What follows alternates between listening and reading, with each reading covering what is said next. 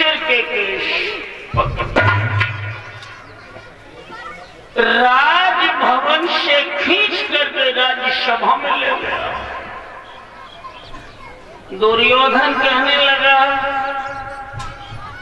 आओ भाभी, स्वागत है आपका। अंधों की सभा में महारानी द्रौपदी का स्वागत है। बहुत दिन बीत गए भाभी आपने एक एहसान दुर्योधन पर किया था। जब यज्ञ में हमें पटक लगी थी धोखे पैर फिसला था।